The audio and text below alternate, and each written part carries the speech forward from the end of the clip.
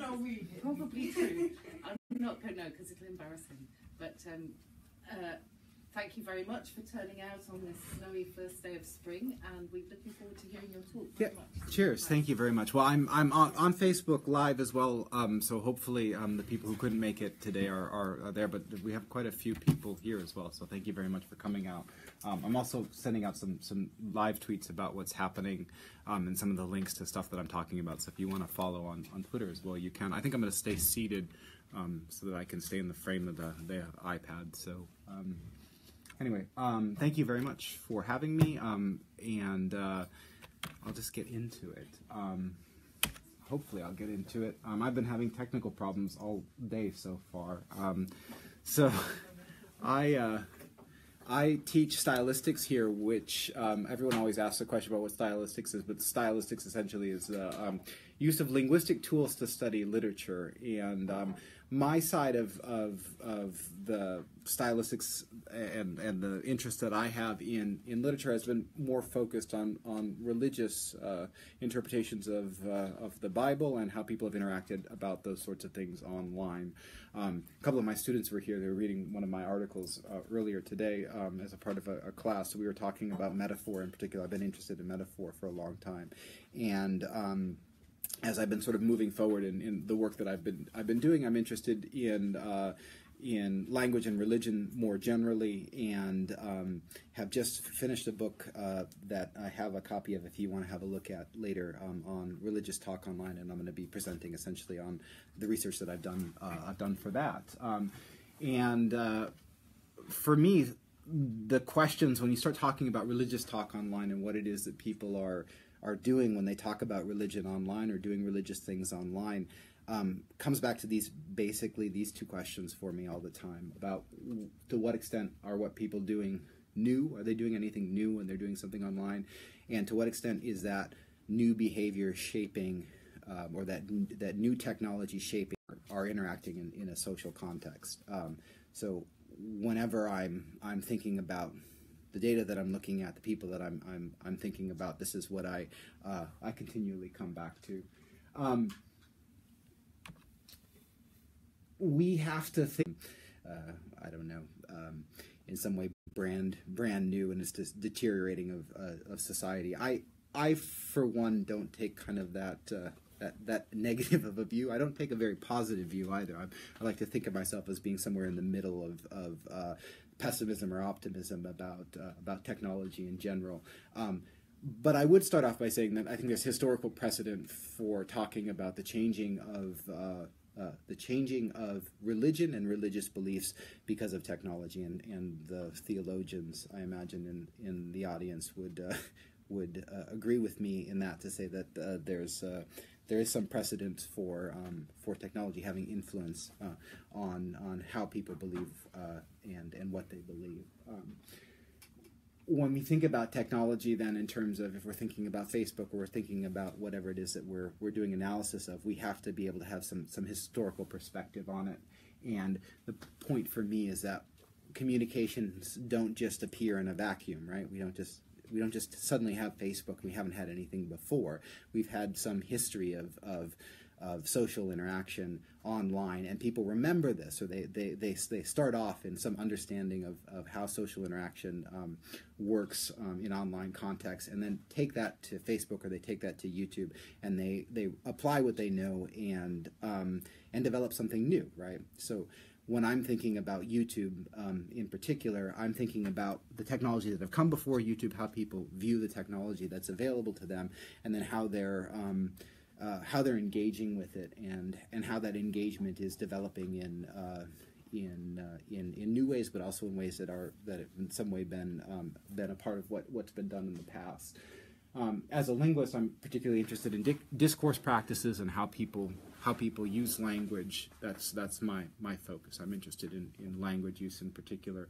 Um, but there's of course a lot of different lenses that you could you could look at any of the things that I'm talking about. Um, and uh, I guess I'm making the point here that if I haven't sort of hit you over the head too much with it already, um, I don't think that it's entirely novel what's happening in in in online interaction.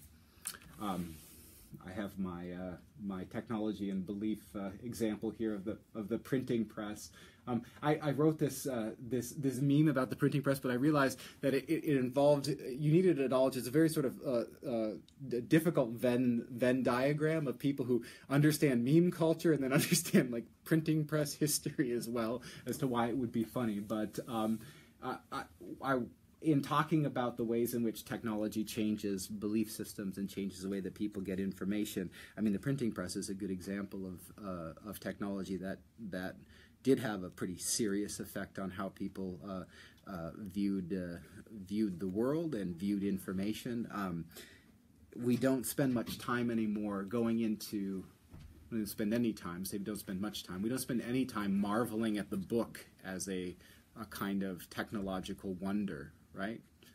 But it is, you know.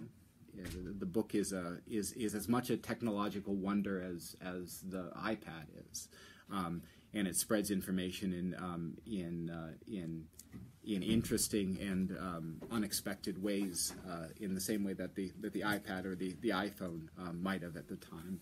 Um, so the printing press is uh, is is not analogous, but it's a, it's it's useful to think about um, how in in the past we find ourselves um, uh, dealing with technology that have changed the way that people uh, look at the world. I'm particularly interested in Christianity, um, atheism, and, and, Islam, and um, if you think about how those uh, the interaction between those religions has developed over time as well, that's also had a lot to do with technology, um, whether it's the printing press only or um, uh, the development of people being able to uh, to travel uh, around. Um, this technology is in the middle of this from the very beginning, so um, we uh, we aren't dealing with something necessarily new here. Okay, let's start talking about social media. Um, I'm using Facebook to uh, spread out this the, the, talk that I'm giving right now, um, and it, it, works as a tool for disseminating information in some ways, but it's also a, a network for me to connect with uh, different people. Um, there's two sort of sort of concepts that I want to want us to think about in, in, thinking about social media. I'm using Facebook as an example of social media here, um, but you could apply the same sorts of things to um, uh, to other social um, social networks online. Facebook is right now sort of the dominant way in which we, we interact in in uh, uh in this way, though. Uh, and so I'll use it as, as the example for, for the research that I'm using. So we have uh, Facebook users here, mostly no, Noel is not a Facebook user. Um, you understand how Facebook works a little bit, yeah. Um, uh, Facebook is all about making networks of uh, connections with different, uh, uh different, uh, different people who you, are your, your friends, right? Your friends on Facebook. You have followers on, on Twitter. You've got friends on Facebook. Um, Facebook creates a kind of difficult context in which you are. I've put Facebook at the at the middle of these concentric circles where you've got friends, family, and, and colleagues, and you find yourself in a place where you are interacting with. Um, a lot of different people um, from a lot of different social contexts um, at the same time. And um, there's two useful ways of thinking about um, about context in social media uh, spaces um, and that I want to highlight here. The first is one's imagined audience, so that when you are presenting yourself or you're talking online, who do you imagine is the person that's viewing the content that you're you're putting out there. Now, on Facebook, you have sort of a, an idea in general of, of who it is that's looking at your content because you have your friends list, but that could be a pretty big list of, of people, and um, you might start to think to yourself, well, if I tweet, I've been uh, or tweet or, or, or, put a Facebook post about. Um, I've been doing house renovations. Any of my people who've talked to me have heard about house renovations, and Juliet's doing house renovations as well. So if I put a, a post on Facebook about house renovations, I know that probably Juliet's going to like it, right? Um, and I know that if she posts something about house renovations, I'm probably going to like it as well. So we're supportive. We're supportive. We're supporting each other. It's a difficult context that we're in, um, trying to do house renovations. Um, anyway, that content is available for any any one of my Facebook friends. Um, but in my mind, I know that there's a group of people who are more interested interested in that than, than other things. And this relates not just to Facebook, but things on Twitter as well. So I'll tweet about particular things. I tweet about kind of um, academic things. Um, and um, I know that there's a group of people who will be interested in that compared to if I tweet about something political, right? It's not that other people can't see what it is that I'm presenting. It's that I am in some way um, uh, producing content for specific people at, at specific times, right? Um, so in my mind, I have an idea of who it is that I'm speaking to. Okay, that's the the idea of, of the imagined audience. Now, it could be anybody. My home renovations, everybody's seeing that potentially, right? But in my mind, I'm I'm targeting particular uh, groups of people. Um, this idea that it's public though that that I've got these groups of friends, family and colleagues on Facebook and I have to in some way be authentic in front of all of them is uh, been talked about in terms of context collapse. Um, and context collapse is just the idea that suddenly I've got to be uh, authentic. I have to have an authentic self in front of this this mix of three different groups of people um, even while um, I'm not necessarily the same person to those three different groups of people, right? So if you know me as a, a family member, um, that's a different um, it's a different relationship than if you know me as a uh, as a colleague, right?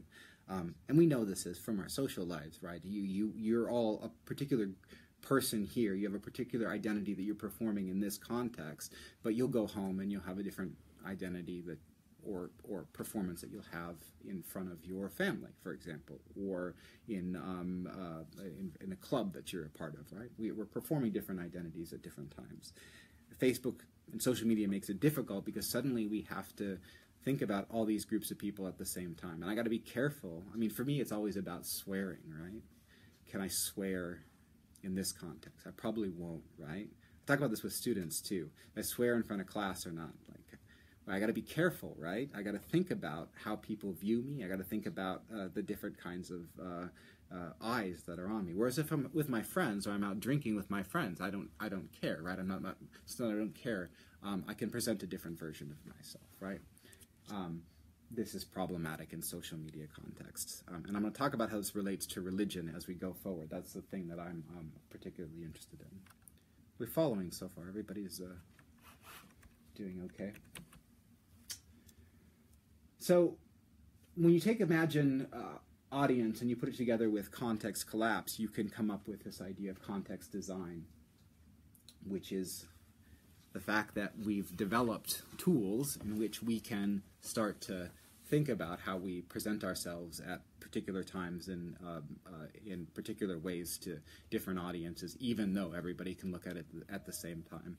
And we were just talking today in, in our, our media class about how um, when you post something on YouTube, for example, you post a video on YouTube, in theory, anybody can see that video.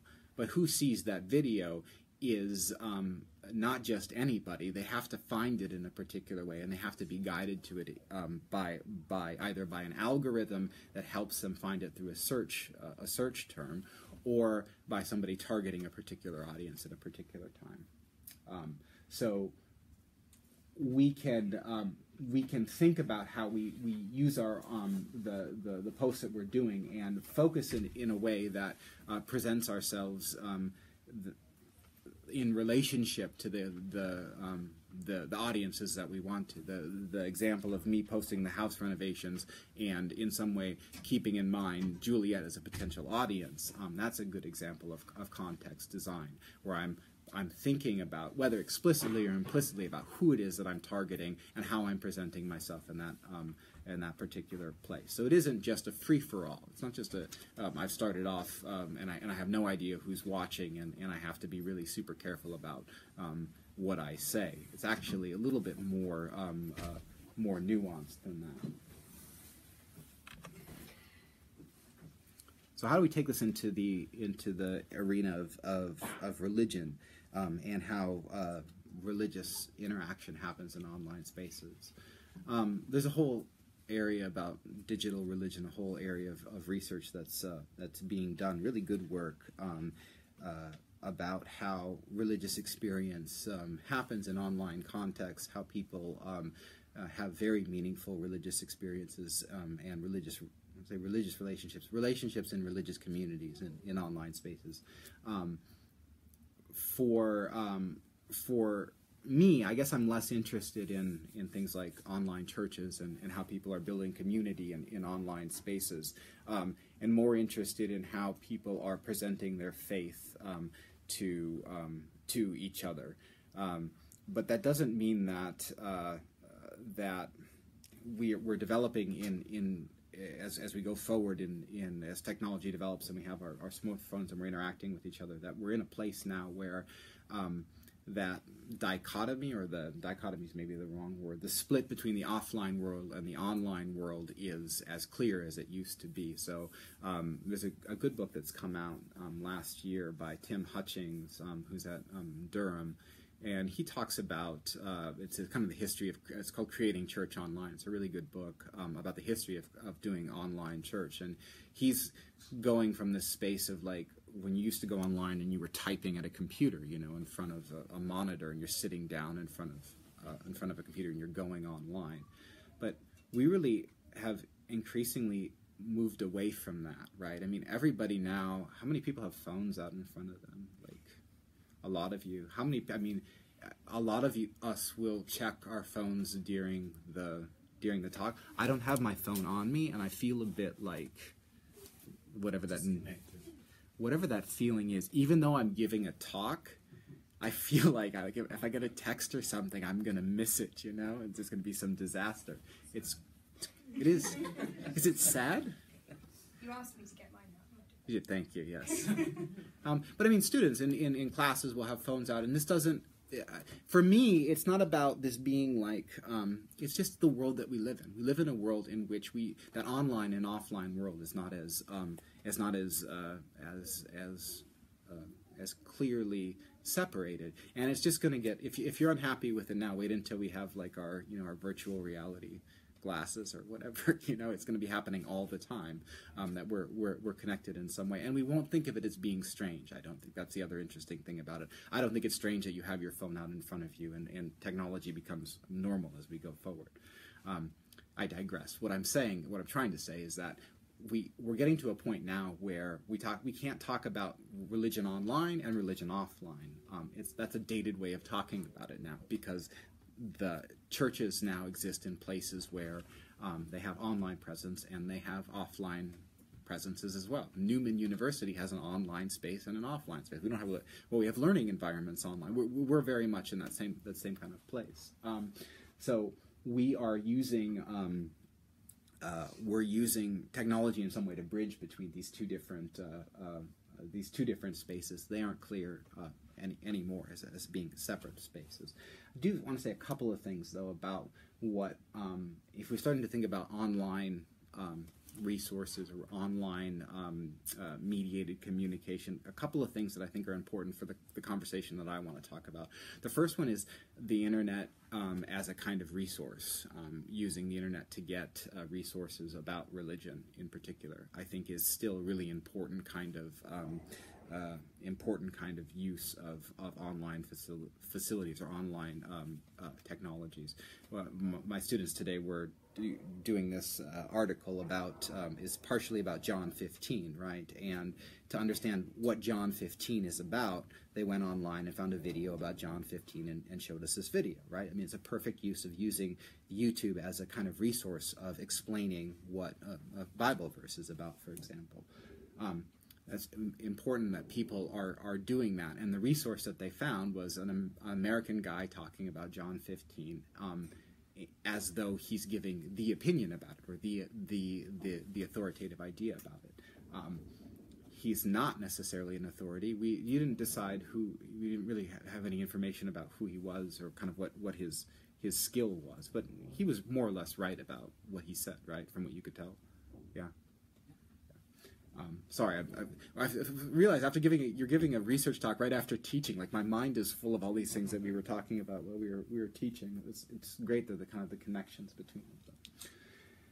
The problem with that is with this guy, well, he's an American, right? And he's probably got, as I'm listening to him with my evangelical ears on, I, I have, I can hear kind of the evangelical register, and I'm thinking, well, he has a set of beliefs that I can hear by by by how he's talking.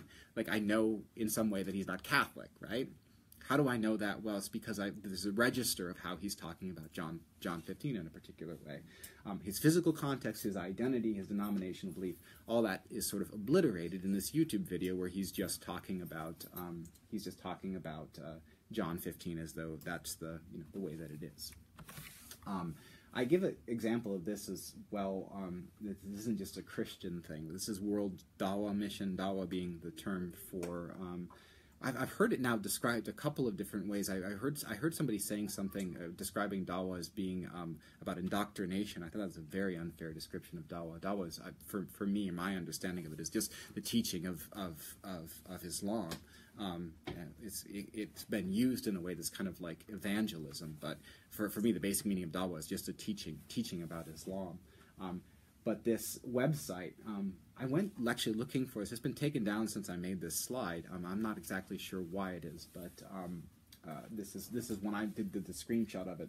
This World Dawa Mission site, and if you look at this site, sorry, it's it's a bit we're a bit far away. It's hard to see, but it's presenting Dawa as a as a mission. I think that word mission is is is an interesting starting point um, because it shows a connection to sort of the evangelical Christian way of talking about the world, um, uh, which I think is interesting. Um, it's World Dawa Mission, but it's not saying much about. If you go to this website and, and, and had a look at it when it was up, this idea of where it's located, you know, what um, what the the identity and the belief of the people who are running it actually is, is not it's it's not especially clear. Um, it's presented in this way as being a kind of authoritative uh, representation of Dawa and what Islam believes, but well, there's there's kind of no um, there's no nuance given. It's presented as being a kind of global belief about um, uh, about what Islam is, and this is, uh, I think, an interesting. Um, uh, an interesting affordance or an interesting um, result of being able to access anything anywhere, or the internet being everywhere and available to everyone, is that suddenly Islam or Christianity or whatever belief can't just be the belief that's happening in this space for this group of people. Suddenly, what I believe has to apply to like everyone. It has to be a global, um, uh, uh, transnational, international thing. It has to apply to everyone. That truth now has to be something that is not contextual. It, it it's uh, it, it, goes across to, to, to everyone everywhere. Um, and that I think has consequences for how people talk about what they believe and how they um, how they interact with people who believe different things than them, not just within uh, uh, in terms of people who believe maybe a, a, Christian and a Muslim, but two Christians together. Um, you you could have a, such a, a, difference if this guy from the states that we were looking at today was to talk to a Catholic from um, I don't know from Brazil, for example, they're probably their idea about what their faith is is is is quite different, although they would give themselves the same the same label. So I think this is this this lack of physical space or physical context has consequences for how people present and talk about what they believe. And that's more or less what I was saying here. Uh, that last point I think is important, though, about the illusion of accessibility. So even though in theory, you can access anything at any time and you can speak to anybody anywhere, or somebody's on Twitter and you can tweet them. Um, that doesn't necessarily mean you have access to them. It doesn't necessarily mean that you can interact with them. Um, they might it might appear that you can, but that doesn't necessarily mean that you you actually can genuinely have an interaction with anybody who's uh, who's who's online. You might have somebody, for example, who has two million followers on Twitter. Try to get their attention. Um, you don't actually have access to them. You might, you might be able to get access to them, but it's uh, it's it's uh, um, it's not necessarily the case that you'd be able to get uh, uh get access to anybody that that that is is in an online space. But I think I more or less had hit those other points about the caveats about religious belief not being there, and the idea that it's it's universally applicable without qualification. I think is um, again, I don't want to talk about it being in terms of good or bad, but I do think that this is a consequence of, of, of online interaction. Okay, so some data now. Um, I the kind of research that I've done has been sort of case study oriented, and um, the reason that I do that is because I I think it's hard to talk in universals about um, how people interact online or what people believe any any of those um, sort of uh, uh, things that I would be interested in doing investigations of. Um, uh, what I'm interested in is what particular people do at particular times, and what those those things can tell us about um, uh, interaction more more broadly, or what it can tell us about religious belief more broadly. Um, there has to be caveats. I'm just sort of criticizing universality, applying universal um, uh, what what you see in one case across to the whole world. So I, it, it, then applies to me as well as I look at particular interaction between particular people. Um, uh, I, we need to be careful to say, okay, this doesn't apply to everyone all the time, but I think there are important things, uh, important things to learn from good exemplar case studies. So what I was interested in in this project, the book that I've I've just finished, um, was this interaction between uh, three rather public users of, um, um, particularly in, on YouTube and Facebook, is where I, I was I was looking. Um, uh, this interaction centered around um, a series of videos, a series of videos, or two videos, I should say. One made, um, uh, both made by this guy called Joshua Feuerstein. now, Josh Feuerstein is like a know how to describe him. I, have had trouble in the past. Every time I introduce him, I'm like, Josh Feuerstein is a, and then I kind of advertising on his Facebook page because he advertises particular things at particular times. Um, but um, uh, he has quite a few followers. I think at the, at the time that I'd, I'd, finished the book, he had about 2 million people following him on Facebook.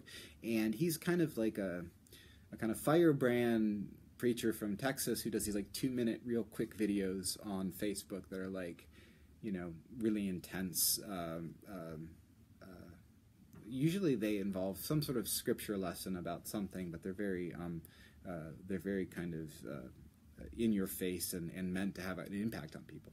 Um, I'll show a bit of one of his videos in a second here. Um, so anyway, he made this video called "Dear Mr. Atheist," um, and this "Dear Mr. Atheist" video it was sort of like he was addressing a generic idea of what he had of a, was of, of what an atheist was, but it wasn't. It's pretty clear as he was talking about like um, a Mr. Atheist, his idea of what an atheist was. It wasn't really accurate, so it wasn't um, uh, the kind of the beliefs that an atheist has. Um, he was addressing, but they, it wasn't like a genuine person, from what I could tell. He wasn't talking to a particular person.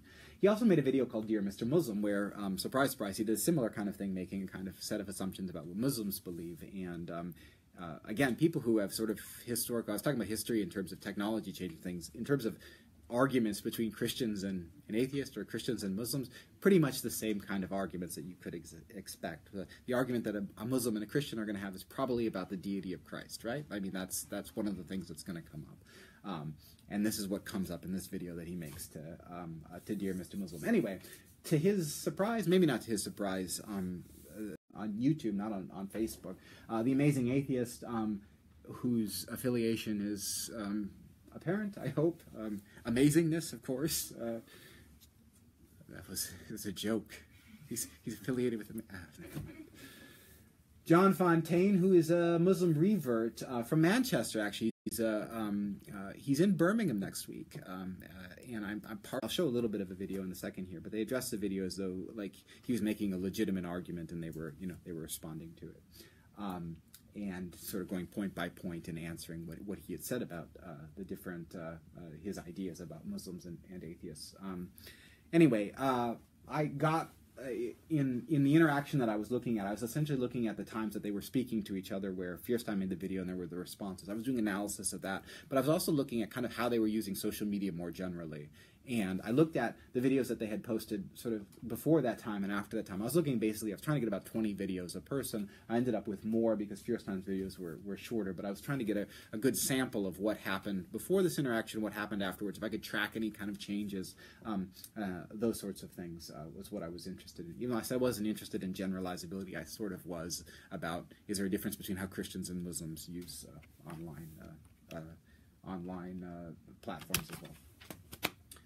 Um, so I'm going to show you a little bit of a video here between. Hopefully, I'll show you just a um, a, a, clip from it uh, where uh, this is Feuerstein and this is uh, this is Fontaine. Uh, this is a bit of the video where. Um, uh, uh, or a bit of Fontaine's video where he made that response to Josh Feuerstein. He took clips from Feuerstein's video and he played them in his in his video and then responded to them sort of point by point. And I'm going to pick up, hopefully if this works, it's going to pick up about halfway through the video where um, Fontaine is responding to a specific point from uh, from Feuerstein. Or not. Well, this is a complete failure. One second here. Oh you got to turn it on. Let's see if this this has solved my problem. It Does not. Okay.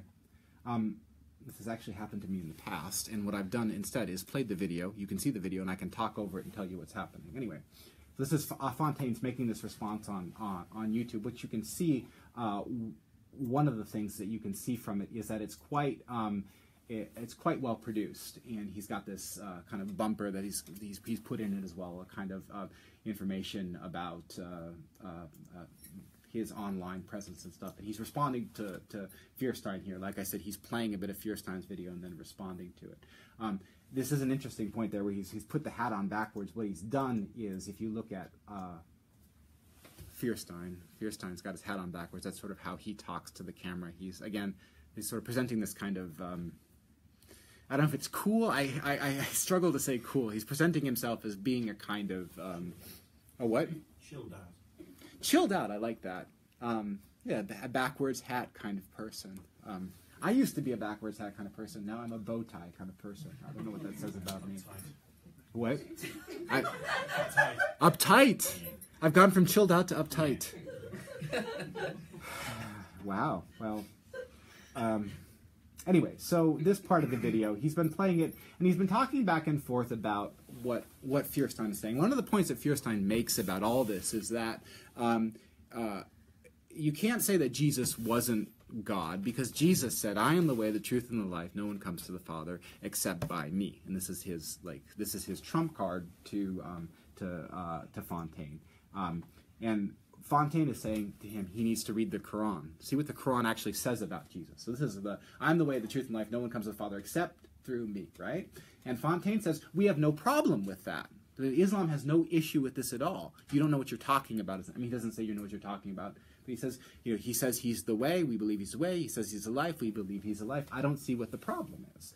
Um, that actually works pretty well, I have to say, without having the sound. Um, and there's the transcript from it. He says, as a Muslim, we have no problem. It doesn't contradict Islam to say these things about Jesus. That really what you're doing is that you're interpreting the scripture, and that interpretation of the scripture is what's informing your reading of that, which is actually interesting to me because Feuerstein doesn't he doesn't sort of acknowledge that there's an interpretation interpretive element of it. Again, this goes back to the universality of the point, which is that like um, it, uh, it, it applies to everyone, right? He's not interpreting; he's just saying what the Bible says, um, which uh, uh, Fontaine is is coming against, right? Now, what I'm interested in is not so much the argument there about Jesus and, and, and, and whether or not Jesus is God or not. It's about why they're doing this in the first place which is a, a, a, difficult question, I think. And we were just having again in our class, we're talking about why do people post videos on YouTube? It's an interesting question. My, my daughters right now, they really want to have. My eldest one wants to have a YouTube channel. She's a, she's going to ten. Oh, and I keep saying to her, you know, when you turn thirteen, you can do it. She's making YouTube videos now for herself. I was in bed the other day and I was listening through the wall. I could hear her saying, "Hi YouTube, it's Naomi. Uh, this is my unboxing video," and she was doing an unboxing video for herself, and she's practicing with her friend um, because this is sort of like the the the thing that that she's interested in interested in doing and it's about performance it's about understanding um I don't know, it's like kids putting on plays for themselves they're doing the kind of um, uh, uh, a kind of a kind of performance, a way that we're, we're we're used to interacting, or we're used to seeing information presented to ourselves. Um, my daughter wants to have a YouTube video. I think in some or YouTube channel in some sense because she wants to be seen. She wants to have visibility and wants because she sees people who are visible on YouTube and thinks to herself, "This is this is something that's good or valuable." I think the same sort of thing is happening here. I mean, they aren't doing unboxing videos of, of squishies from China, um, but they're doing like um, uh, they're, they're they're doing a kind of um, work that's about increasing their visibility. So the reason that I think my, my analysis is that the reason that Fontaine responds to Feuerstein isn't because he's trying to make some case trying to convince Josh Feuerstein to become a Muslim. I mean, maybe maybe that's what he's trying to do.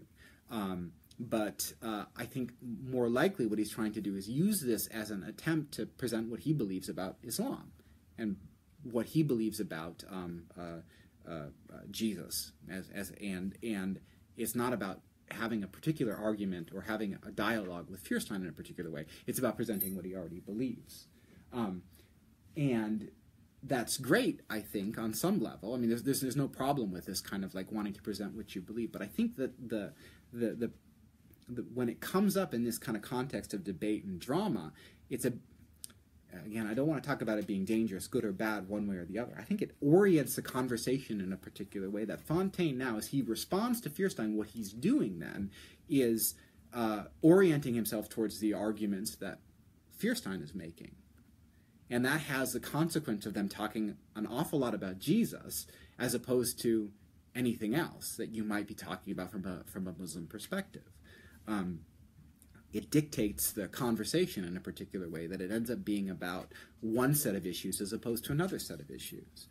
And i think that has as as i watch the argument happen i think this has um, this has issues or it has um, it has potential effects for how belief then develops going forward. Because you say well if we're in a debate drama context in which we have to respond to christianity we have to talk about jesus um, that creates a, a, faith that in some way is oriented towards responding to those kinds of things. And people watch these videos and say, well, it's a, the, in some way, Dawa is about responding to Christian arguments about uh, about uh, the divinity of, of Jesus. And there's so many videos about this.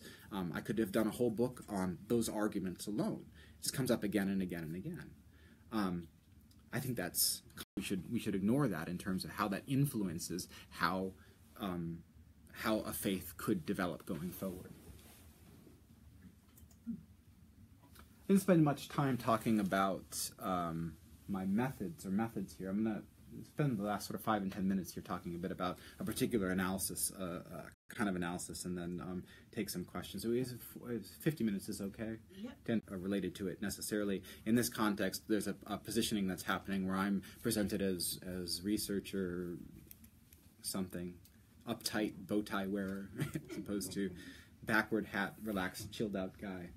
Um, but there's a kind of social context that's happening here, and it, it it's working because you are listening to me present my research, and I'm presenting my research, and we've um, uh, the positioning is essentially not there, there's no conflict between these these two things. Um, but this is not who I am all the time. You'll be shocked.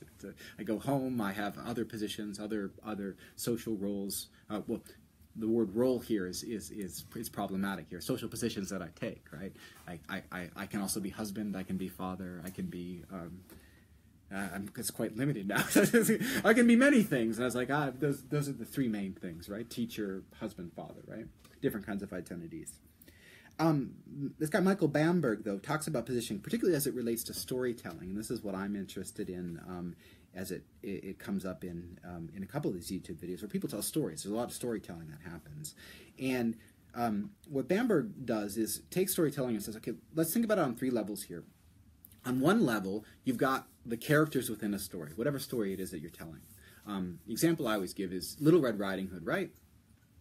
We all know Little Red Riding Hood. There's characters in Little Red Riding Hood. They do particular things. Um, they interact with each other in particular ways. There's the characters within that that fairy red fairy tale world, right? That's position one. That's or that's level one of the story, right? If we go up to level two, we've got the story that's being told, but we have somebody who's telling the story, and we have people who are listening to the story, right? So if I tell you Little Red Riding Hood here.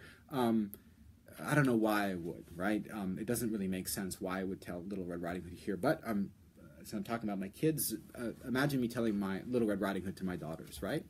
um, in relationship to making YouTube videos. It would that would be a, a good uh, a good character lesson for them. Um, if I was telling them the story of Little Red Riding Hood, I'm not just telling them that story for any reason, right? Um, or for, for no reason at all. I'm positioning myself in a particular way, and I'm positioning them in a particular way, right? Um, I'm positioning myself as, as a kind of uh, authority and positioning them in, in a way that they um, have to learn to listen to authority, right? There's a reason for telling that story, is the point. And that reason for telling the, the story tells you something about how I'm seeing myself and how I see them. That's level two of the, posi- of the positioning, right? Stories are told for reasons, and they're meant to uh, put the storyteller in a particular place and, and the audience in a particular place. And then you can go one level above that and say, okay, what what is the story, the story, the story, the storytelling, and the audience and the storyteller? What does that tell you about how the storyteller views the words world sort of more generally? What what can we say about um, uh, what can we say about my uh, my view of the world if I tell the story of Little Red Riding Hood to my kids? It has something to do with authority. It has something to do with um, uh, uh, my view of following rules potentially. There's a lot of different things you could unpack as you go in, in, these three different levels, and they're related to each other, right? You get from one to two, to, from two to three, and you can take three then to go back to two, to go back to one. You can move between these three different levels. Yeah. Um, these stories, uh, uh, these stories can then often be repeated in particular kinds of um, uh, uh, particular kinds of discourses, if you want to use the word discourses, storylines, if you want to use the word storylines. Bamberg uses the word master narratives. They're stories that we generally tell again and again and again. Little Red Riding Hood is an interesting story, but we can think of stories that are like Little Red Riding Hood. They, they tell us similar kinds of stories again and again and again. Um, one of the most interesting uh, research about this kind of storylines and, and how um, people tend to play the same generic roles in different in different uh, in different stories about uh, the other in this particular case is about um, this research looking at how Osama bin Laden talked about George W. Bush and how George W. Bush talked about Osama bin Laden. Essentially the same story, but with the, the characters swapped around here, right? So there's a kind of generic story about good versus evil, good triumphing over evil, violence being a part of that. Well, um, it shouldn't be a surprise to us that, that the, the two sides are telling essentially the same story to each other, right? So um, when I'm looking at, at, at my text, I'm wondering what's happening on all these three different levels, right? These are the kinds of questions that I come to the text with. I'm not just interested in uh, uh, what's what's on the face of the story. I'm trying to figure out what that relationship is is saying about uh, what a person is, how they're positioning themselves in relationship to their audience, and what that tells us about the kind of their worldview more generally. Um, go back to Feuerstein, an example that he, he tells here. Again, short two minute video that he makes. You have an, a sense of how he makes a video now because I showed it a bit earlier. He's like he's got the camera and he's right. He's his face is sort of in it, like so he's sort of face to face talking about it. And um, he says, "Hey, Josh Feuerstein here. Have you ever been going to a situation, particularly a storm in life?" Where it seems like the wind and the waves constantly pound and pelt against you. Well, check this out. Not every storm is a curse. Uh, some can actually be a blessing. In fact, check this. When it was that Noah built the ark, well, he was in a valley. He built the ark in a valley, in a low place, in a desert land. But when he goes through the storm, well, the storm takes him up and rests him on the mountaintop. Uh, there's a time in your life that God can allow you to go through a storm, but it's not to persecute you, it's not to punish you, it's to elevate you, it's to take you to another level.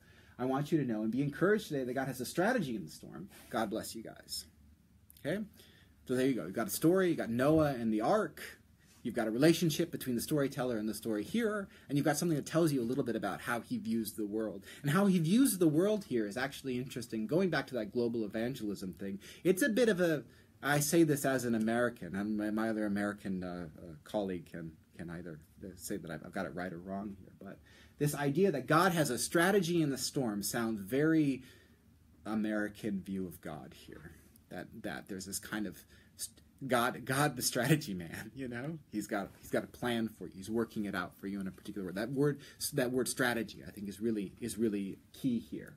He's not though presenting this. He's not like, "Hi, I'm Josh Feuerstein here, the American evangelist who's going to tell you American theology." That doesn't come up at all. He's talking in a way that that sees the you here as being a generic you, being everybody. You being you as well. This applies to you too, not just to, to the people who are watching him on, on Facebook. So it's it's an interesting story to me because it uh, it ties back into the Bible. There's some interesting theology there. It gives it a kind of authority. Again, go to. Well, I mean, this is his thing as well. This um, uh, using um, uh, uh the the discourse of the Bible to get authority. Um, you'd be familiar with that. But it does tell you a little bit about his Western American understanding of it. And it also makes him an authority, which I think is really, really interesting as well. The way that he talks, the way that he positions himself, we don't know anything about him um, other than the fact that he is talking about the the Bible in a um, in an authoritative way and using words. And you could find some kind of construction that has some sort of similarity with that not that exact same thing but you could find some sort of relationship to that that there's a there's a kind of um, echoing of biblical language here um, as I finish, this is basically what I'm what I'm thinking about religious communities and why people are positioning themselves in the way they are, why they are talking in the way they are, and why they're doing what they're doing. Um, I think that social media puts people in a place where we have this context collapse that involves people who agree with them, people who disagree with them, and then people who are somehow um, unaffiliated or uninterested. I had this, um, I showed this slide at a chaplains conference last week, and we got arguing about the interested, uncommitted, whether how what the label should be for that. But um, uh, I think that when people are presenting themselves, what what what the, the effect of social media in this context is, is that people have to think about not just talking to people that they believe with, that, that they agree with, but people that they don't agree with, who, who could be actively attacking them, coming after them, and then also positioning themselves in a way that relates to people who might be uninterested or interested in and unaffiliated. So that at the same time, they're they're doing this very difficult positioning of themselves and the viewer um, that has to take into account all these different contexts um, or all these different audiences and how they are viewing what it is that they're saying, and that affects then how the discourse develops over time. Um, that shift in that presentation of belief, um, I, I, I think, um, as that, that audience shifts, that the presentation shifts as well. And so they have to, as you're thinking about talking to those three different audiences, you got to be careful about what it is that you're saying, and that takes into account these different audiences. And I think that that ha- what it is you talk about and what you spend your time focusing on. And I, I think that as this develops, as people spend their time focusing on particular things, that has consequences then for how belief develops over time. It has to. If you spend your, all your time talking about a particular topic, a particular contractually obligated to hawk my book wherever I, wherever I go. Um, the book is for sale. It's available on Cambridge Core though, so um, you can uh, see it on the uh, on the Newman website um, or the Newman Library uh, website. Um, I'm also been working on this uh, this edited collection about uh, English language studies that, that comes into some of these issues about uh, globalism and um, spread of language and the effect that that has on, on social interaction as well. So that's not just about religion, but um, sort of everything more generally. Thank you. I've gone a little bit over. I'm sorry. Yeah, cheers. And we've landed we've landed with one person left on Facebook. So Stephen, thank you so much for that absolutely fascinating talk. I think it kind of encompassed all the particular subject specialisms that are in the room um, very much. So I'm going to open up to questions without any more ado. Julia. Um, I thought it was really interesting. You've got three white men on there, which in a way is quite useful for comparison. Um, I thought it was interesting. Is it Feuerstein? Feuerstein, yeah. Feuerstein is a Christian with a Jewish sounding name. yeah. Fontaine is a Muslim living in Britain. He does not look like a British person would expect a Muslim to look. Yeah, no, he gets called a ginger quite often. Yeah. To what extent do you think the way they're presenting themselves is to do with the constant need to defend their religious identity because people might be surprised Yeah. when they find out what their religious affiliation is? Yeah.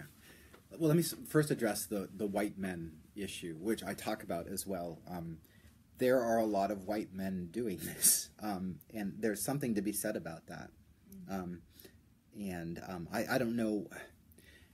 uh, As I was thinking about who I was going to study, I'm doing a kind of an ethnographic study of these people over time, and this is the one that comes up and becomes interesting and a good exemplar.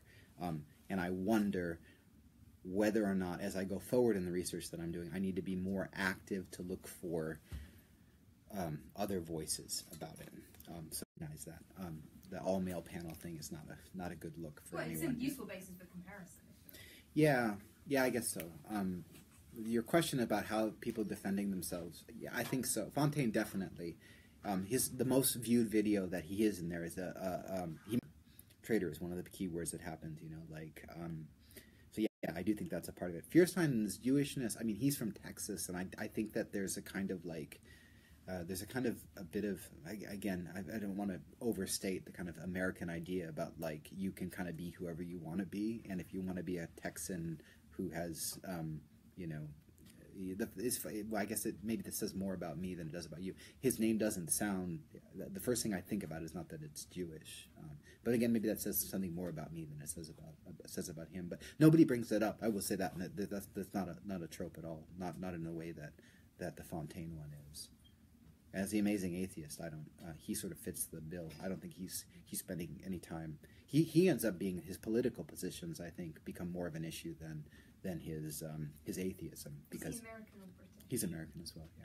Yeah. Oh, I just wondered if he came from one of the areas where you have to defend atheism, or if he's from a. Well, in the U.S., that's pretty much everywhere. I mean, imagine, but um, yeah, yeah, particularly um, he, he's been around for a while, you know. So, um, uh, but no, I mean, I, I, um, I, I don't think that he that he's worried about his identity as an atheist necessarily. Do you find there is much debate?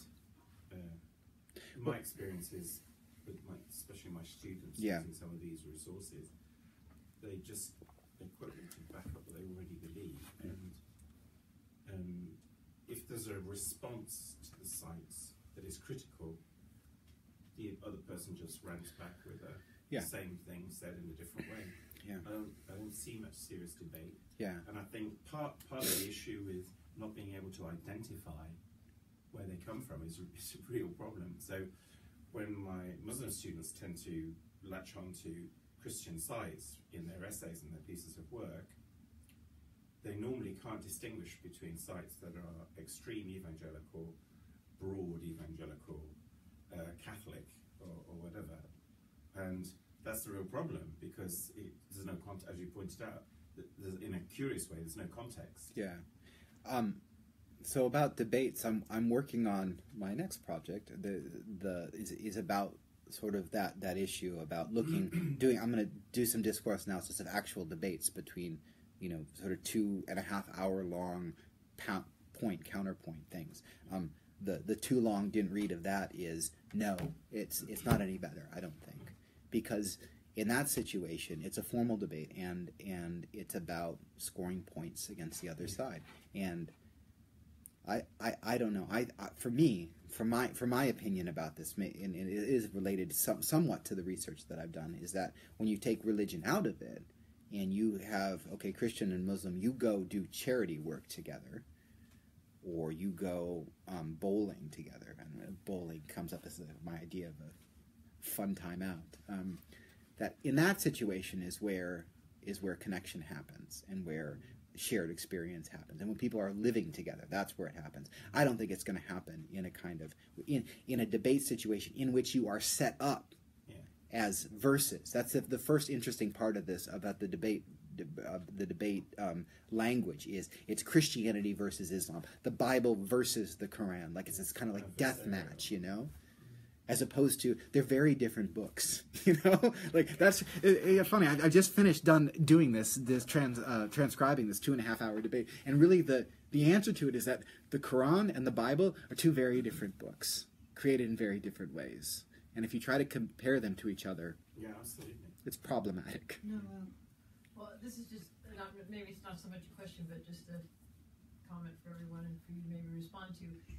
Um, you just described something where Christians and Muslims or any different kinds of people come together. Yep.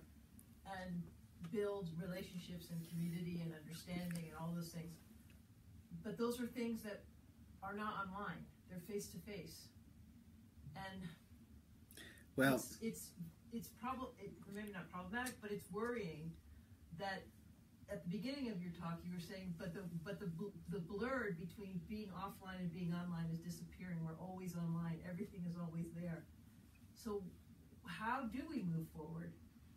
Yeah, I would. I, I would. I would first push back against the fact that there aren't meaningful relationships online. Um, Pauline, who sits over here, um, is uh, a colleague who I've met in person two or three times. We're fa- friends on Facebook. I feel like I I have such not a close relationship with her, but I I know what's going on in her life. I know the the things that are happening. I feel connected to her, and when I see her, I don't have to have this. I feel a I feel a real connection with her as a friend. Um, that is created by Facebook. Um, this house renovation thing, I joked about it before, but it's actually a meaningful. It's a meaningful thing. I mean, I I, I don't want to be too like. Um, I don't know, uh, overstate it. But I feel like my relationships on Facebook are real relationships with people, and they are because I have met people through friends on Facebook who then I meet in the real world, and we have conversations, and it's like we're we are old friends. So I think that the the question for me is about. Um, it's not about it being one way or the other. I think it's a matter of of, of different kinds of things happening in different places. And certainly that, that creating church online book, those people have would say they had close religious faith based relationships with But each other. be interesting if you could get the counterpoint to that would be the interfaith. If Muslims and Christians are friends online. Yeah. Yeah, I, I imagine though again the problem is you'd have to find a context wherein people are friends online and their faith is sort of it's it's it, the reason that it doesn't come up in, in some sense because it's not it's not that important to their relationship with each other, right? I imagine like if you went on Momsnet, for example, and you found a bunch of people talking about some uh, illness. I bet you I bet you you go to cancer sites or you go to say I bet you this this is a kind of it'd be a kind of empirical work that you could do. The extent to which someone's if if you have a, a, a maybe a, a rare um, disorder or something and you find a group of people who have that same rare disorder, it won't matter at that in that context what anyone believes. You'll say like, um, or you have a particular kind of cancer. It's like, yeah, yeah, you, you have support together, and it doesn't matter that person's a Muslim if we the thing that binds us together is this you know 0.001 percent cancer that we have. You know. That's fascinating. We're going to have to stop there because of the weather conditions, but we can stay and finish the wine and use the room for as long as we like. Cheers. Thank you very much, and thank you to the people on Facebook as well. Yeah.